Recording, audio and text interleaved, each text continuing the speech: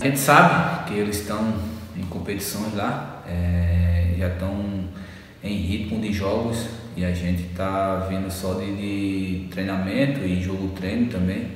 É uma grande diferença, mas eu acho que para a Série C a gente tem que trabalhar e focar, é, buscar melhorar sempre nos treinos, para que quando começar os jogos a gente possa estar tá bem fisicamente, bem mentalmente também, psicologicamente, para que a gente possa desempenhar um bom futebol.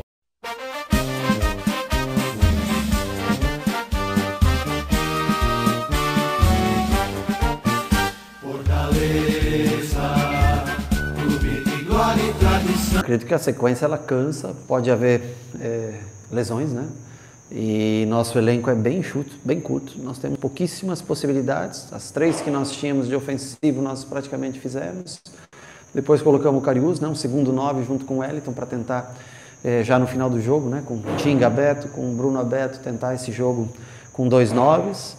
Mas elas são, as opções são, é, são curtas, né, são, são poucas, né. Nós, o que nós tínhamos para frente nós fizemos. Tinha o Ederson ainda, mas não cabia né, naquele momento do jogo, só se fosse como volante por trás.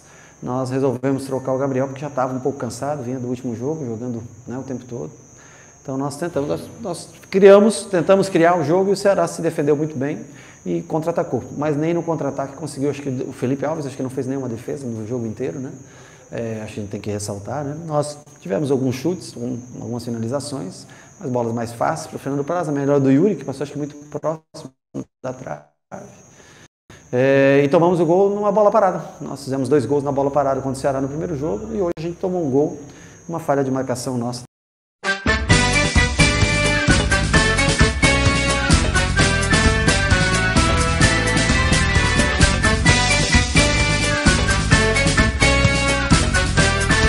É claro, uh, um jogo de mata-mata, né, de mata-mata, uma partida só, é, é, com certeza diferente, porque é tudo ou nada, né? Tu tem que ir para a partida para vencer, tu tem que, às vezes, reorganizar a equipe para sair vitorioso e passar de fase.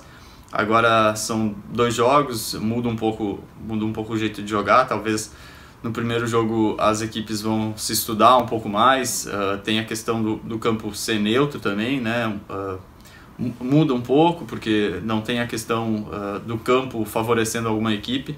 Então eu acho que vai ser diferente sim, e, e, a partir de hoje a gente tem que já começar a pensar nessa final para mentalizar bastante o time adversário hoje à noite, que, que vai ser definido, e, e sair daqui com, com esse título.